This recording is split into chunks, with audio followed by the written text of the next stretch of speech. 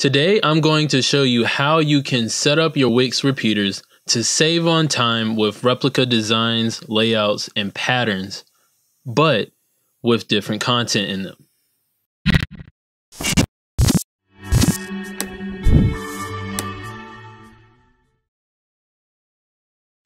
What's up, you guys? Thanks for tuning in with your boy Nino, and I got a tutorial for you guys today on how you can set up your Wix repeaters in the Wix editor. So let's get started. All right, so what you first want to do is you want to go ahead over to your add button here, and you want to go down to list and grids. Okay, once you hit list and grids, you can actually choose from all of these repeaters here that uh, are really beautiful. I mean, I really do like all of these designs, but uh, go ahead and pick out one that you really would like to have, and then you can actually drag it out onto the Wix editor. So I'm gonna do that. I'm gonna just drag that right on out. All right, and now I'm just going to recenter it uh, to my page. Okay, now here we are. Okay, so all of the items in the repeater have the same design. Okay, you can customize the individual elements inside each item uh, or each repeater, such as like the text or the images, but the designs will always stay the same. So basically, it shows it up here. So we can actually get fancy with this right now. Uh, but what I want to go over is the key elements to make this repeater function as well as uh, function for your site. Okay, so here you can actually manage your items at a global level. So if you have many items on this repeater and you don't feel like going through each and every one of them, you can actually go here and uh, actually view your items. You can actually duplicate these items here if you have duplicate information that you want to show uh, as well as you can actually delete them. So you can actually go straight to that exact item on this uh, item list uh, that you have here for your manage items and you can actually duplicate the item or you can show it as dynamic data which I'll get into uh, shortly but this is how you manage your items now, if you want the layout to be a different layout, which is like you want these to always line up to the left, no matter what your window looks like. So if your window is closed down, this these elements will always show up on the left align. And then same goes for centered, uh, same goes for right align, and then it justifies itself if you want to choose this justify. Now you can actually change the space in between these items as well and that's basically what the layouts are all about. Now you can actually add some animation here. I actually went into uh, animations in one of my tutorials so definitely go check it out but uh, if you want to check it out it will be linked up in the right hand corner but you can actually apply different animations that are put onto the whole repeater actually and uh, yeah, and that's basically it. Now you can actually use this stretch tool to actually stretch it to the full width uh, of the page. That means that whatever the page is uh, is being like condensed, or if it is not being condensed, it will still align up just like this. Okay, and it won't actually mess up the flow of your website. Whether someone has your uh, your browser window minimized or if it's actually large like this. Okay, so I'm going to make sure that that's not stretched full to width. And then you have your connect to data. Now this is actually something that I'm to go into in future tutorials, but basically what you can do here is you can connect one of your data sets to here in order to uh, produce multiple items in the same design, layout, uh, that you have it here pattern any type of layout pattern or design that you have here in your repeater you can actually add elements from your database and that is how you connect it to your repeater. So you just have to click here to connect data and then actually choose what uh, data set you want to be connected to this repeater.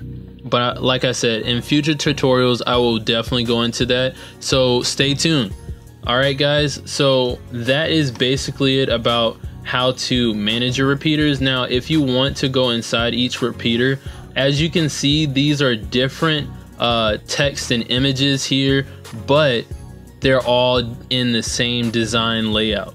So if you want to add any type of item or even remove any type of item, all you have to go to is add here and then actually choose what item that you want to uh, put onto your um, like what item you want to put into your repeater. So maybe I want to add some like music items to my repeater.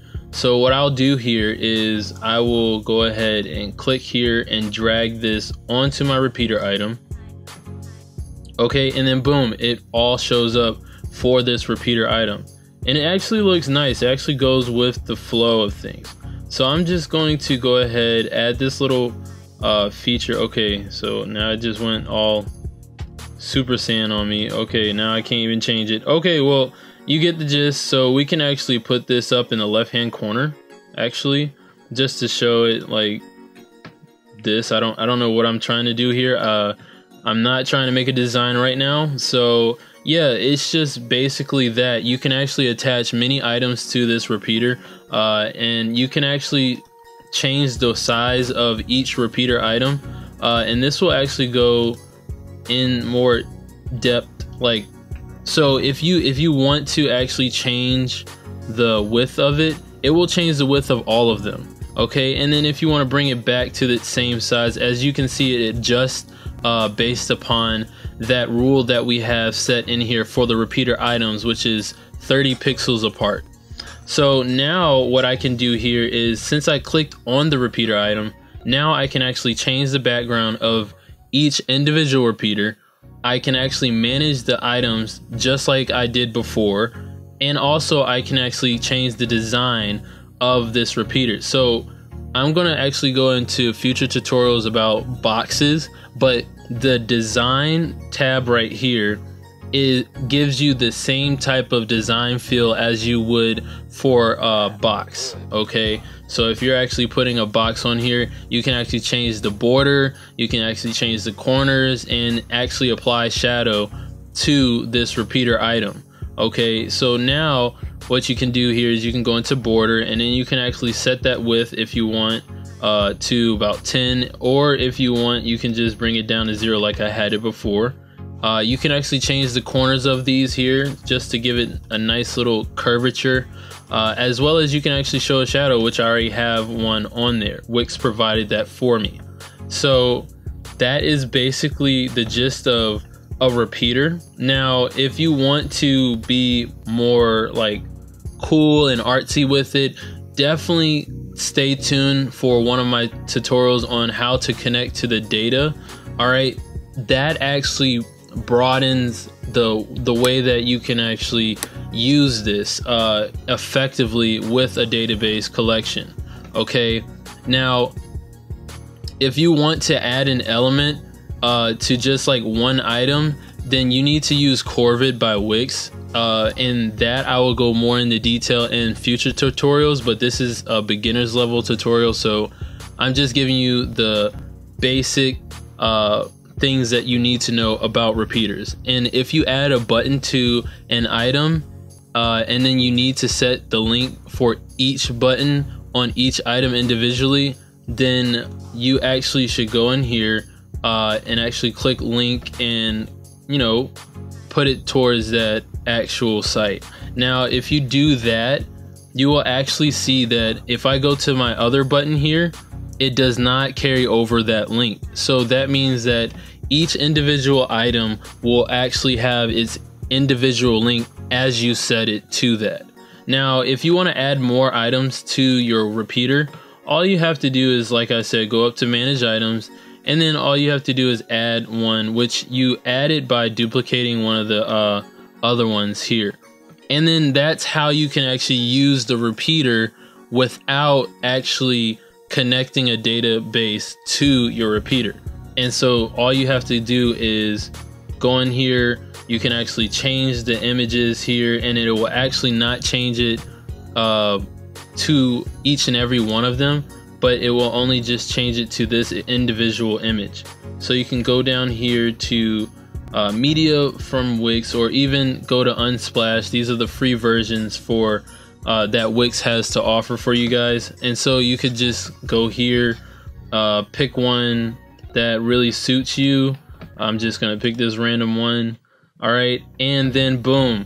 As you can see, the repeater actually keeps that single item, uh, that picture. Now, if you go into a dynamic data set, uh, which I will actually talk about in the future also, then all of these will be different items as well that are inside that data collection.